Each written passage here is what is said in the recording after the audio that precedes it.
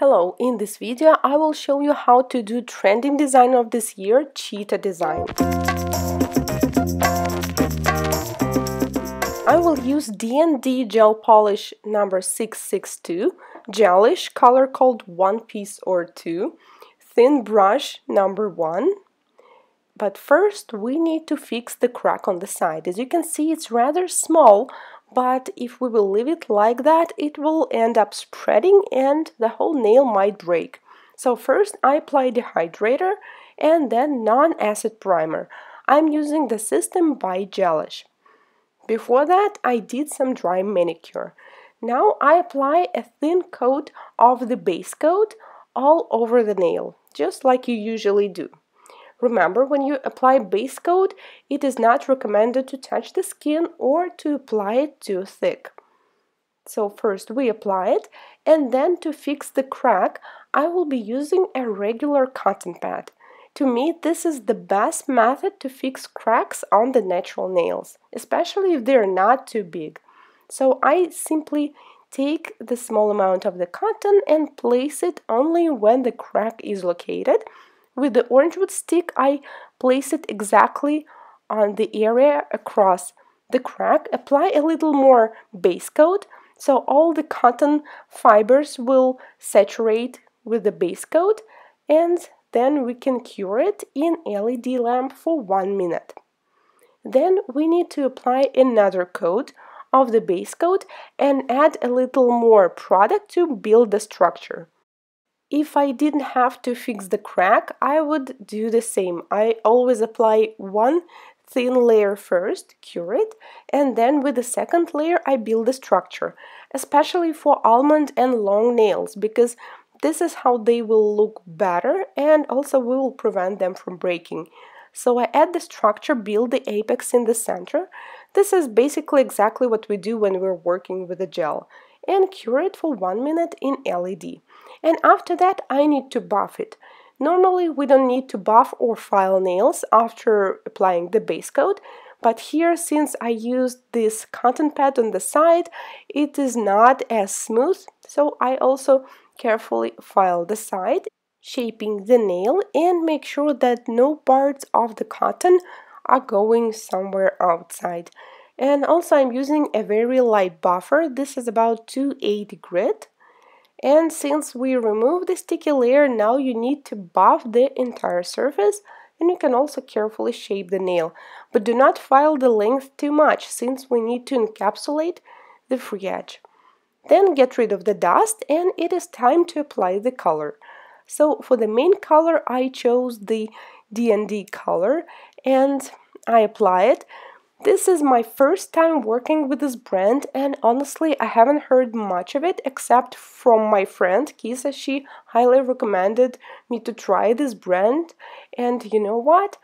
I actually loved it. I mean I like the brush, I like the way it applies on the nail, I like the intensity of the color.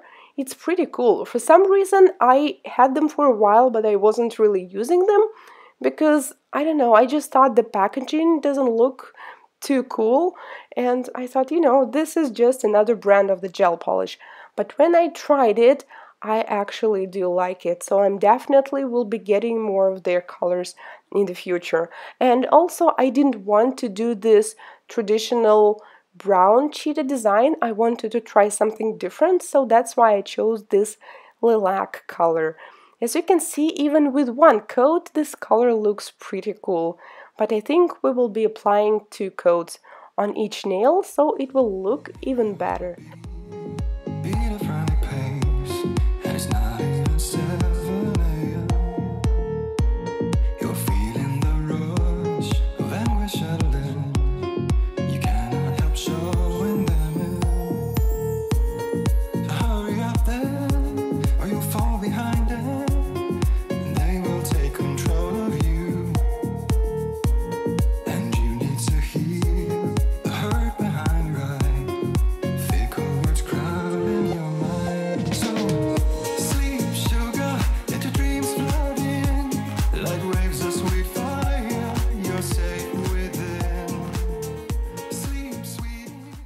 After I applied two coats of the color and cured them, it is time to do the spots.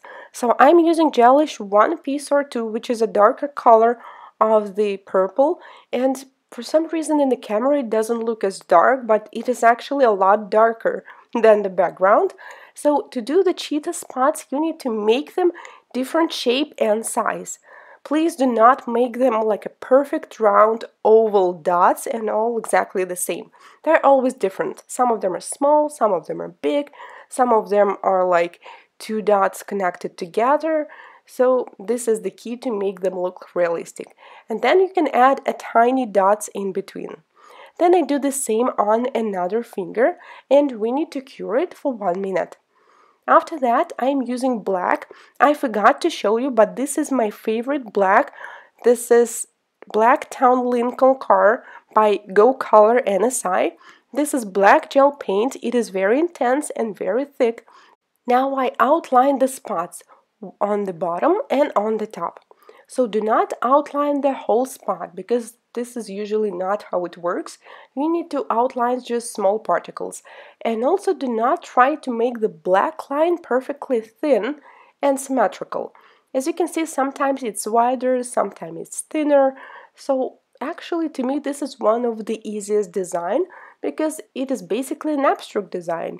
You just do whatever you want and also make sure that the black lines they're always from the same side. So if you decided to add black on the top and on the bottom, keep to this until you finish the design. And also I prefer not to cover the nail with the cheetah spots all over, just to do it like half-half. Then fully cure it for one minute in LED and the last step will be sealing it. So we did cheetah design only on two nails and also I added a little bit of the spots on the thumb. On pinky we decided to use the purple that I used for the spots, the darker color by Gelish. During last fashion week, many designers showed so many cool ideas with this cheetah and other animal prints and I think you can use any color and it will still look really cool. Just imagine pink cheetah, yellow cheetah, uh, purple, blue. I think they will all look pretty nice. So if you use gel polish, it usually do not add any volume, so you don't need to worry that the design will not be flat.